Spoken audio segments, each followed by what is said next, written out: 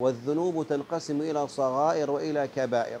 وضابط الكبيرة أيها الكرام الفضلاء هو كل ما توعد عليه بنار أو بحد في الدنيا أو بلعن أو بغضب أو بقوله نقص الإيمان. والله لا يؤمن والله لا يؤمن إلى غير ذلك. أو بقوله ليس منا. هذه كلها ضوابط ماذا؟ الكبائر. فلما يأتي مثلا ما أسفل الكعبين من الإزار في النار. إذا معنى, معنى ذلك أن إسبال الثياب من الكبائر لأن توعد عليها بماذا؟ بالنار.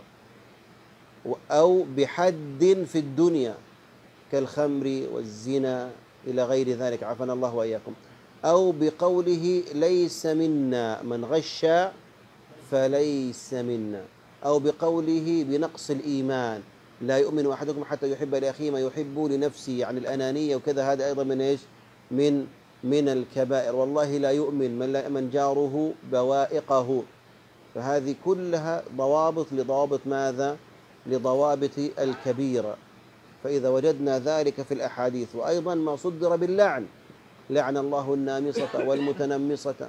إلى غير ذلك. كل يدل على هذه الأفعال منها من ماذا؟ أن من أن هذه الأفعال من الكبائر.